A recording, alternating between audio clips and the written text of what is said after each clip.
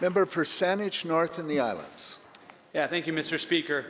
Uh, over the past two years, I've spoken a lot about our relationship to trees. Mostly, I've talked about how we are cutting them down.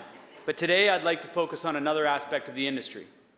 In 1965, the seed orchard on the Saanich Peninsula, now operated by Western Forest Products, opened its doors.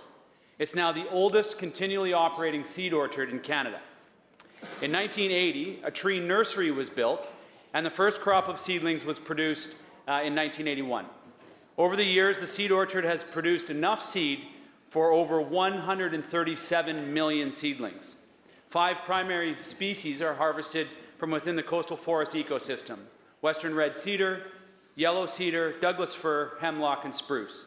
The fruit of the orchard, such as the one on the Saanich Peninsula, are the cones. Seed is extracted from the cones, and seedlings are grown in the nursery. It's all a part of the vital, uh, a vital part of the reforestation efforts across our province. On a recent tour of the Saanich Forestry Centre, I immediately recognized the, uh, the, the people who work there strive for excellence. One such individual is a constituent of mine by the name of Cathy Cook. She has worked at the Saanich Forestry Centre for 39 years. I was immediately taken by Cathy's passion for her job, from which she is retiring from at the end of this year. During her time at the centre, she has managed the seed orchard, pursuing the mission of the orchard through eight different owners. Under Cathy's guidance, the nursery has an incredible rate of success. In 2018 was her third highest rate of germination at 92.8%.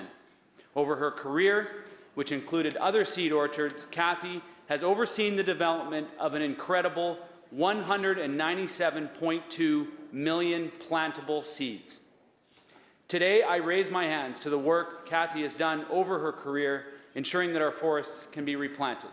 Speaking about relationships in my brief, brief time with Cathy, I can see that she is deeply connected to each one of the millions of seedlings that she has raised. She leaves behind an impressive legacy, one that will certainly be difficult to follow. Thank you, Mr. Speaker.